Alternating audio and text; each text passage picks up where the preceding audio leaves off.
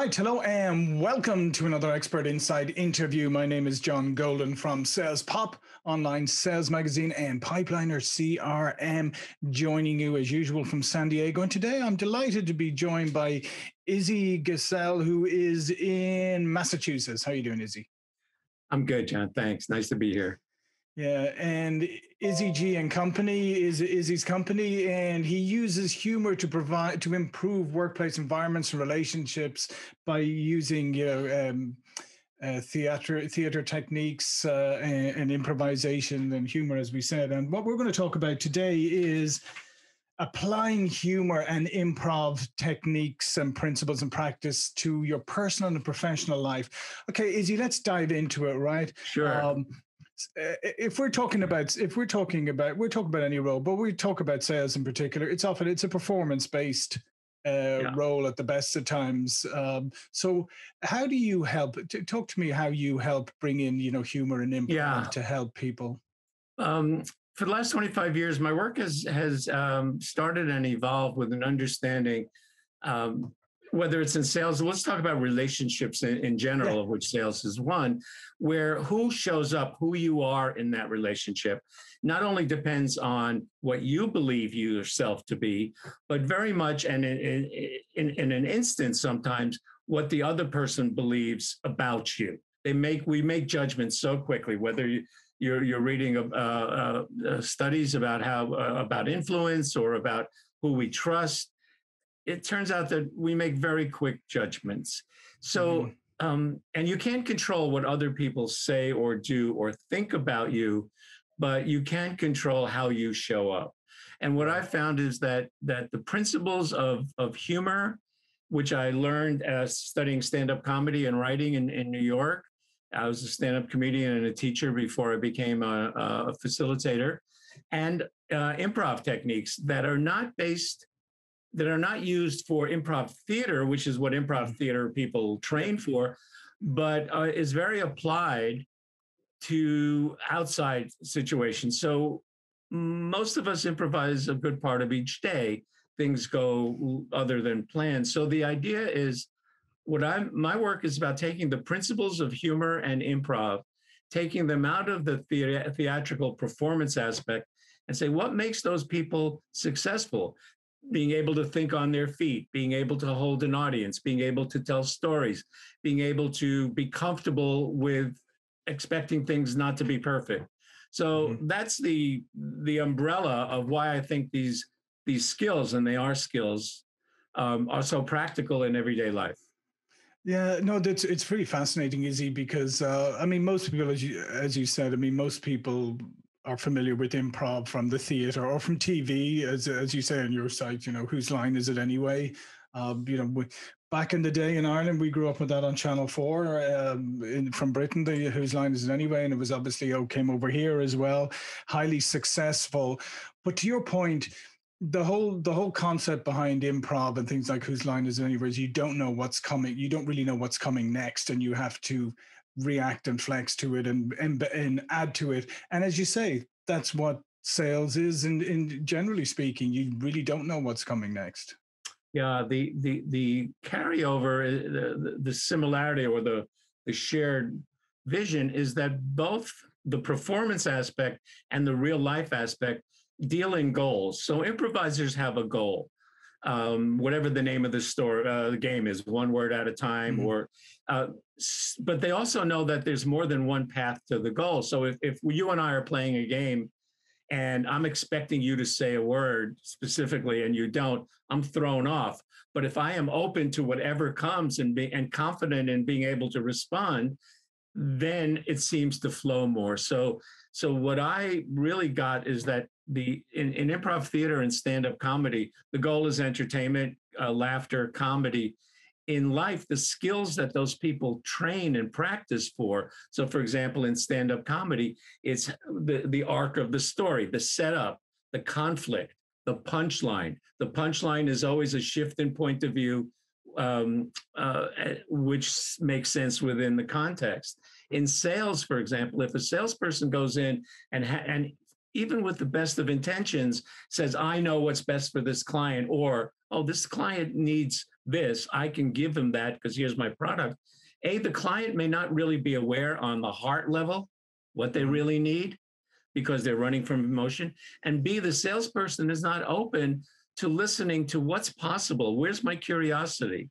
What else is, uh, can I offer? Can I be a better listener and ask questions?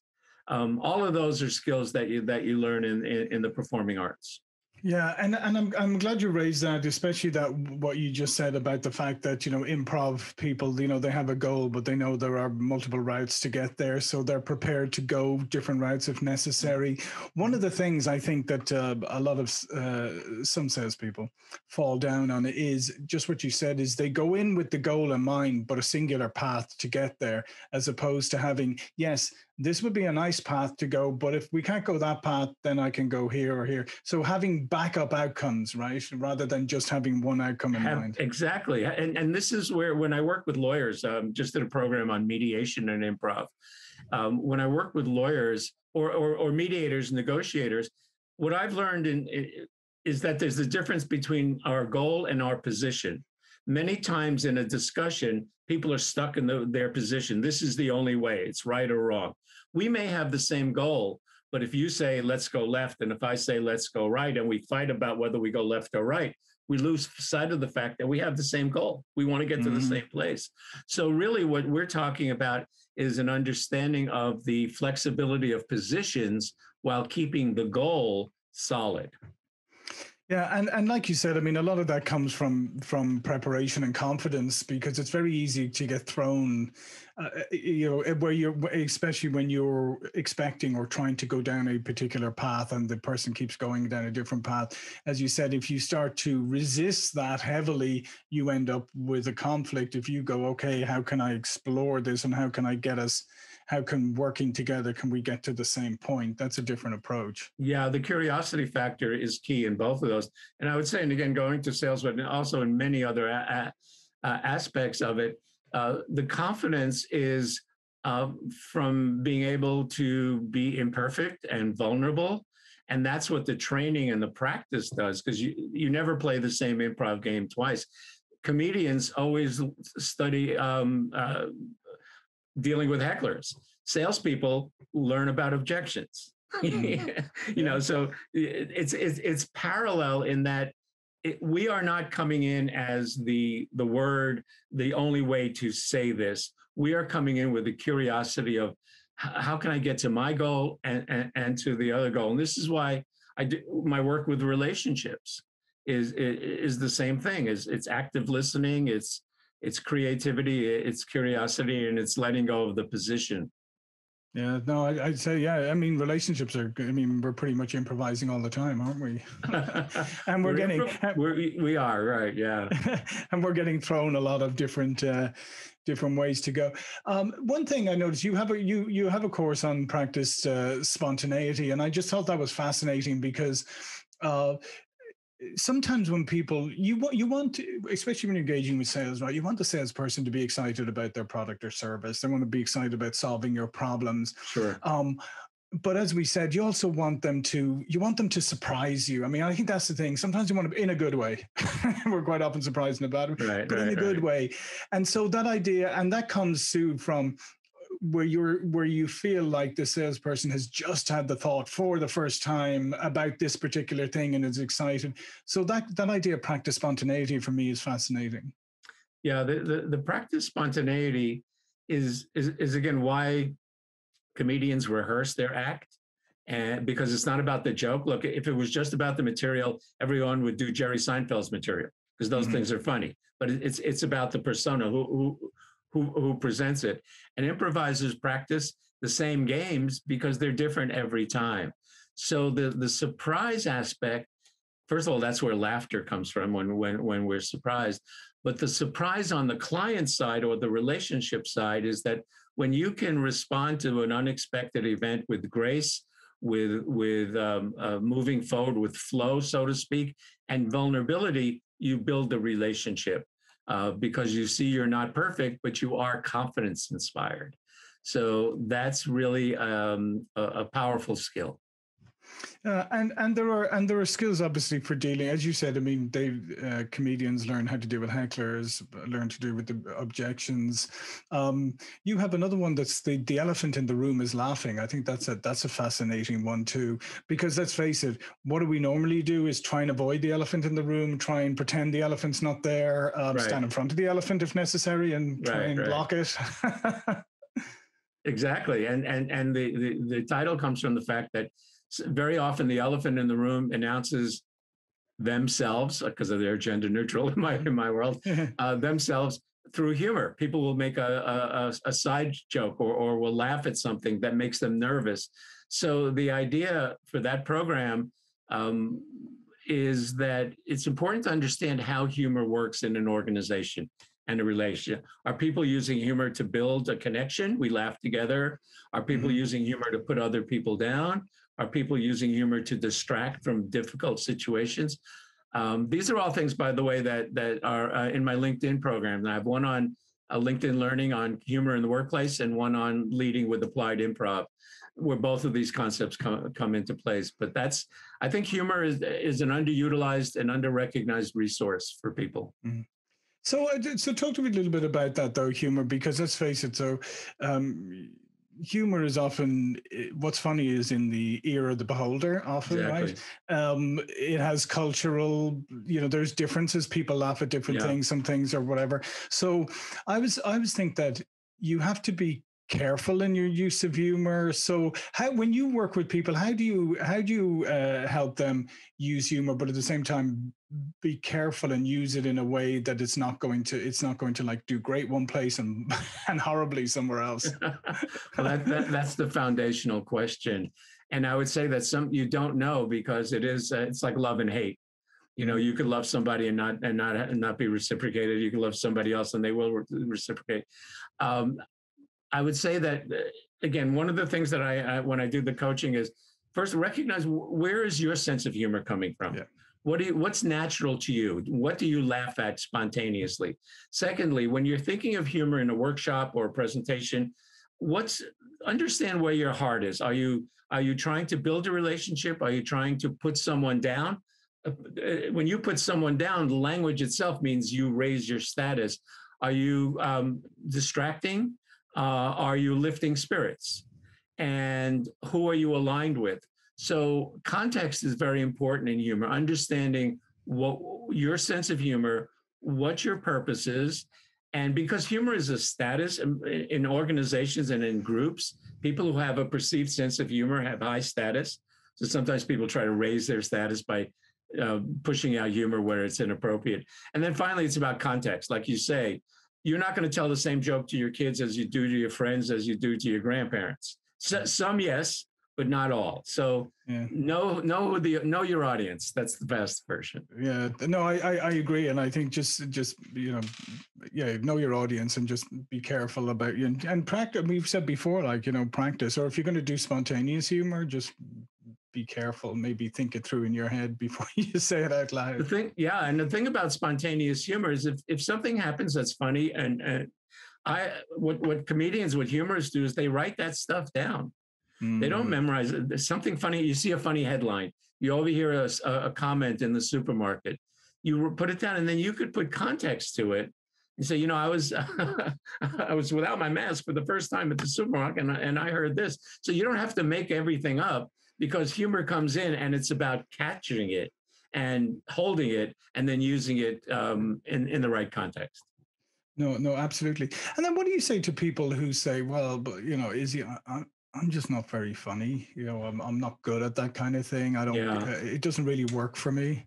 Yeah, I, I would, I would ask them to separate funny from humor.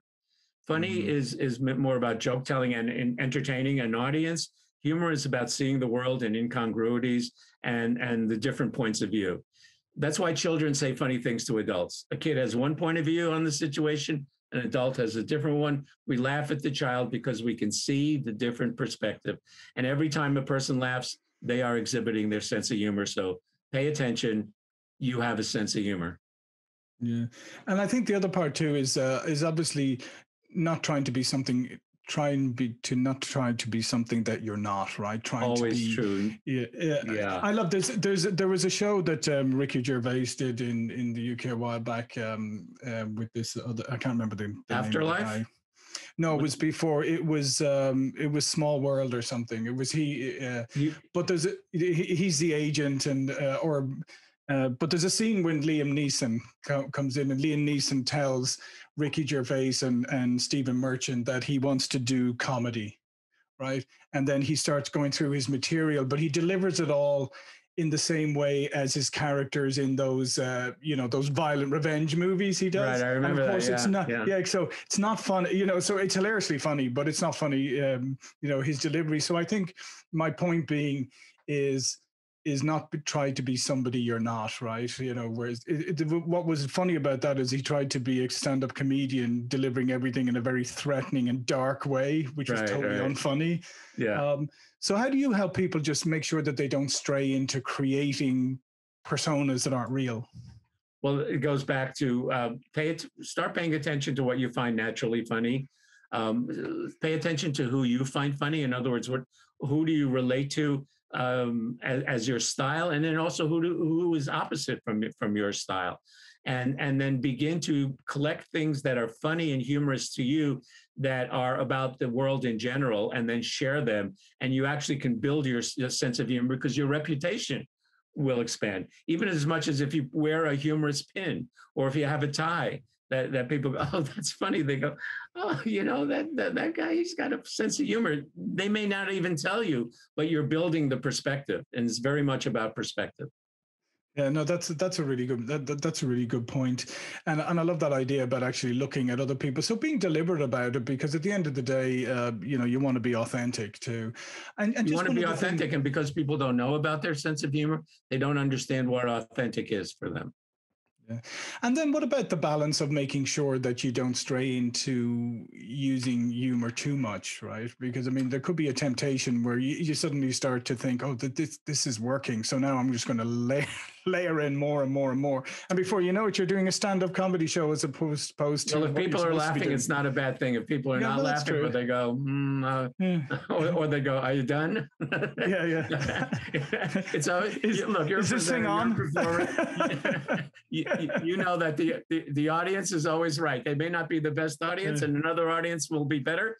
But but um, eh, take take your cues. Take your cues.